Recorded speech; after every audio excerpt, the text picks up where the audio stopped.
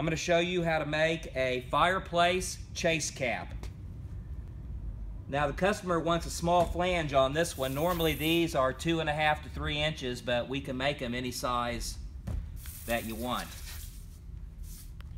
This is going to be the flange for the skirt on the chase cap. My customers call these into me or bring them into me and I lay it out and I make it for them and I'm going to show you how to do it. This is 54 inches. My rule's 48 inches, so I'm going to go 48 plus 6, another inch and a half for the skirt on the other side. I'm going to do the same thing here. 48, add 6 to it, which makes 54. Add an inch and a half for the skirt on that side. Now I'm going to draw a line.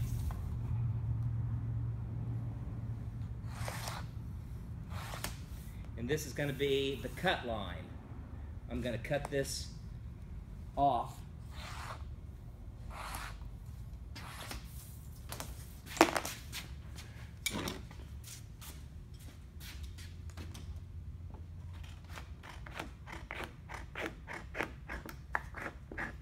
And we can make these anyway. This is a 26 gauge one. We can make them all the way down to 20 gauge out of stainless steel, copper, painted metal, something that is zinc coated and pre-primed so that all you have to do is paint it yourself. But the majority of them are out of 24 gauge. Now I'm going to draw and lay out the skirt for the long side. Again, it's inch and a half. Normally this is two and a half to three inches. But this is just a little smaller.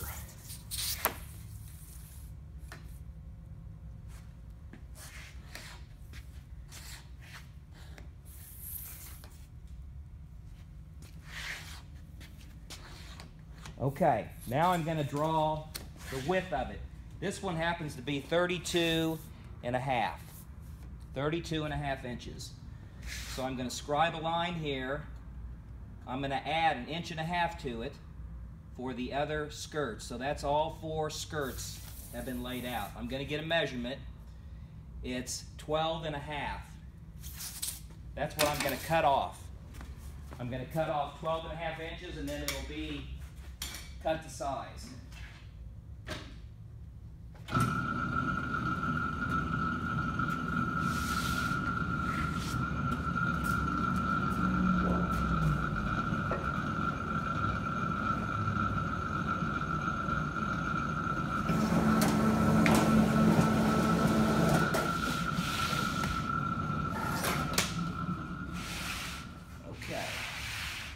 Now it's cut to size. I'm gonna trim my flanges.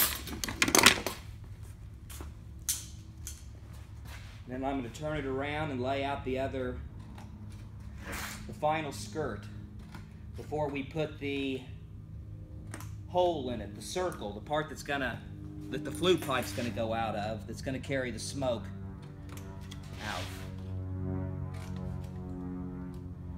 Okay, so now I'm ready to turn it around.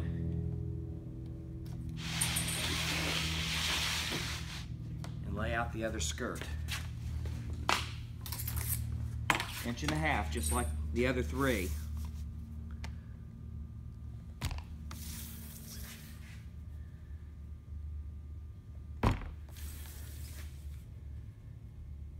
Okay, there we have it. I'm going to scribe my line and then I'm going to do the same thing. I'm going to cut out those corners and you'll see why in a little bit when we finish it and break these skirts down 90 degrees.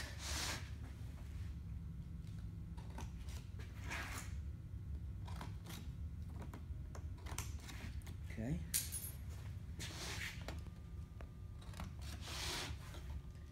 Now after I do this, I'm going to lay out where the circle is. This one happens to be an easy one.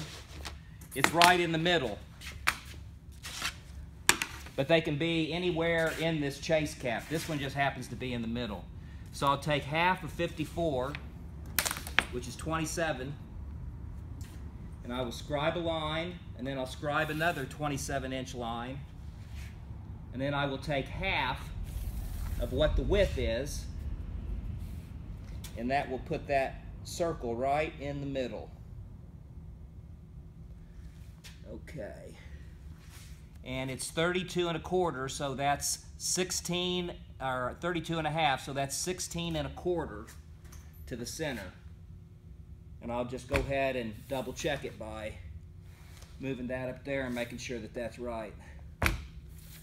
I'll just go ahead and double check to make sure I got it right before I cut it out.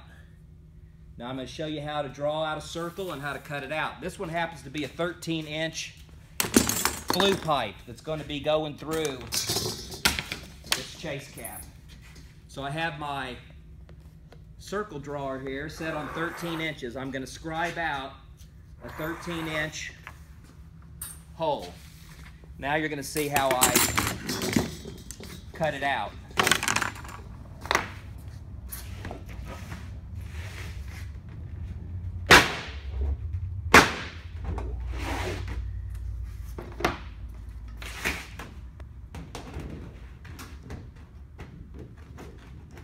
These are right-handed Dutchmans. But you can use them to cut backwards if you know how.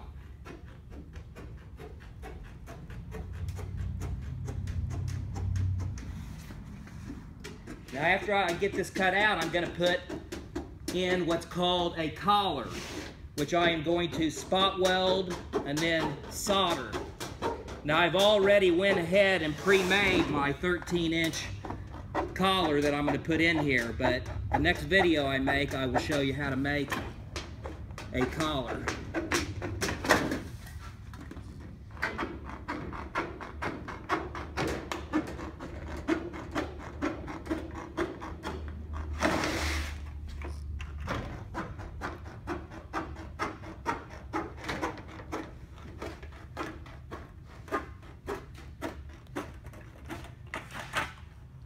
Okay.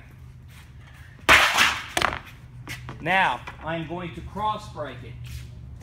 And then I will put my collar in. This is just for strength, to add a little bit of strength to it, like you would cross break, break a piece of ductwork. So I go corner to corner. Now I'm going to do it the other way corner to corner.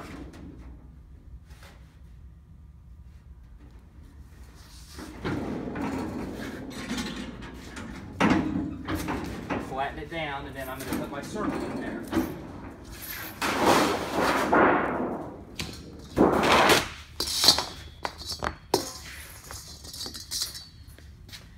And when I put them in, I use a rounded hammer so that it doesn't damage the chase cap very much. So I put it in like that. That one's gonna fit pretty well. I won't have to do anything. I will just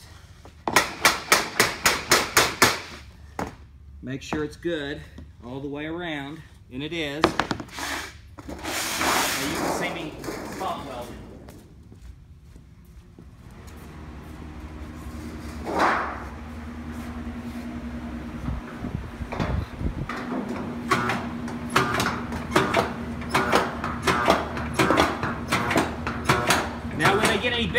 This, I have my helper there give me a hand. But when it's this small, I can do it by myself. And over the years since I've been doing it, I have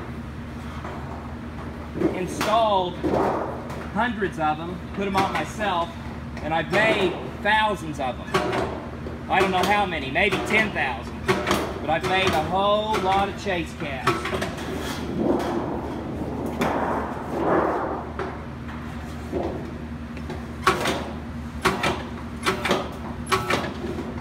Okay, we're going to stop and I'm going to get this prepared to solder it and then I will show you how we do that.